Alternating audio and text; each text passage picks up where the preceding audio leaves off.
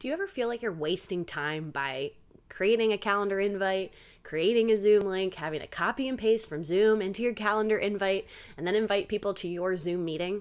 Well, I have good news for you. There is an integration that you can do with your Zoom account and your Google account to automate that and just make it so much easier.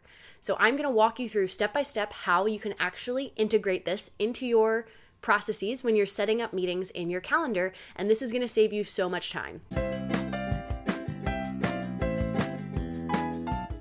Now, before we get into it, I do want to remind you to like, subscribe, turn on that little notification bell so you get notified every single Monday when I drop new videos. I'm Logan Clements, freelance event producer, and this week's video was inspired by a video I did a couple weeks ago that I will link to above that is all about three automations that just changed the way I work as a business owner. Because whether you own your own business or you work for someone else, time is money, and anything you can do to help you save some time is literally like money back into your pocket or energy back into your energy resources so you can do more things. So I'm always a big fan of anything that's going to automate or help me save time. And this one, I promise you, saved me so much time because the number of times that I had to copy and paste from Zoom to Google and it just drove me crazy. And now there is an integration that allows you with a single click to create a Zoom meeting. It automatically puts it in the invite, automatically puts it on your Zoom account, and you have to do nothing. So let me walk you through exactly how to do so before I show you how to do that on your Zoom account, I do want to say caveats here. You do have to have a Zoom account to be able to do this. And this integration specifically is walking you through how to integrate with your Google Calendar. Now, maybe you're someone who uses Outlook or uses something else for your calendar needs. And I believe there's other options out there, and I will link them down in my notes here in the description if I find them. But I'm a big Google Calendar person. And the beauty of this is me as the organizer is a Google Calendar person, but when I utilize this functionality, it will do it for anyone, any of my guests who are on. If they use Outlook or whatever they use for their calendar integrations, it will still show them the Zoom link. I'm just not familiar with how I would do that as the organizer for other things other than Google. All right, so I'm gonna link to this where it says Zoom for G Suite add on, so you can actually walk through this yourself. But if you're someone who's auditory, I'm gonna talk you through it as well. And so, one of the great things that this does is it enables you when you're scheduling a meeting. Let me see if I wanna create a meeting it'll allow me to actually see an option here that says make it a Zoom meeting. And so the cool part with here is if I click that, it automatically will create the link in my Zoom. It creates the link here in the invite. And so it doesn't just default. Maybe if you're you haven't done this integration before, you will just see the add Google Meet option to your meeting. But so what I do is say test meeting.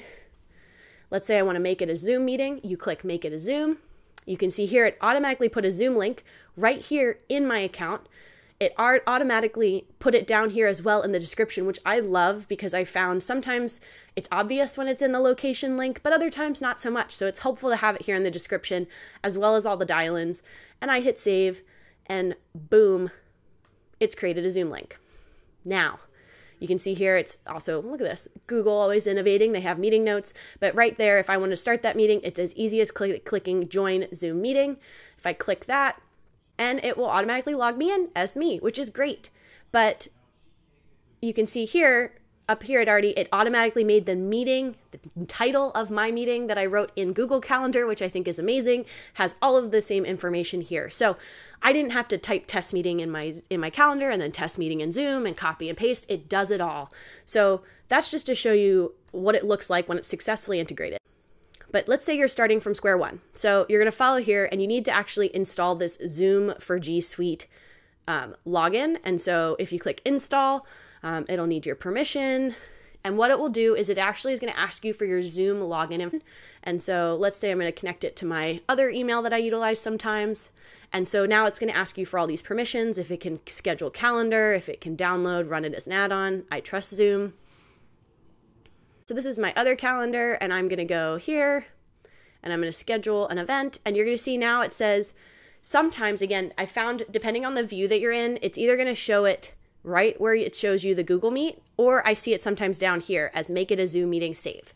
Now one nuance I have found with this integration is say I invite um, another person. So let's just say, like my other email, I've invited us. For me to make it a Zoom meeting, that is the equivalent of hitting save. So if I say make it a Zoom meeting, it's going to create it and it's going to come up with this pop up that says, Do you want to send invitation emails to Google Calendar guests? You can hit send and it will send this invite. If you hit don't send, just be aware that then it has not sent it, it has not sent this invite to any of your guests. So often when I am scheduling a meeting invite and I'm utilizing this integration with, between Zoom and Gmail, I will actually wait until I'm ready to send that invite, add all the people, add any notes I want, and then I will make it a Zoom meeting and then I'll just hit send. So it's all in one step. One of the things that I found that maybe isn't so efficient of this is if you accidentally then try to recreate it as a Zoom meeting, you'll then accidentally create two links and it just adds some confusion. But yeah, so that's how you can see it has my test Zoom meeting. It's already here on my calendar. My Zoom links are populated. We'll just pull up my my Zoom account here and you can see look, my Zoom meeting that I just created, boom, already in here. And then you can also see here my test meeting, boom, already created and already in my Zoom account. And so that's the Zoom integration with your Google Cal, with your Gmail. And I love this because I think it just saves so much time. And like I said, time is money. And so it's just really important to figure out ways that you can be more efficient. So, what are some automations that are making you happy? Feel free to drop them in the comments below. I'm always looking to be more efficient.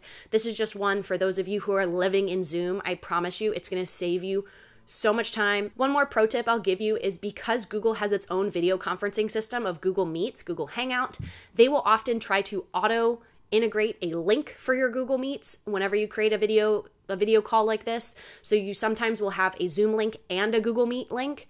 And so that's just something I'll always I try to like at the end of one week comb through my invites from the next week just to make sure it didn't auto populate. They are getting better at not doing this, but I get it why Google does it. They want you to use their service and not Zoom, but this integration still saves you so much time with creating Zoom links and needing to cross populate the title of the meeting and certain information that just it's redundant. So I'm very happy for this plugin that helps you save time when you're scheduling a Zoom meeting in your Google Calendar. That's all I have for you folks. I'm Logan Clements, freelance event producer. This has been another installment of my favorite tips and tricks when it comes to event planning, Zoom, virtual production, in person production, and running your own business. And I look forward to being in your feeds again next Monday. Bye, folks.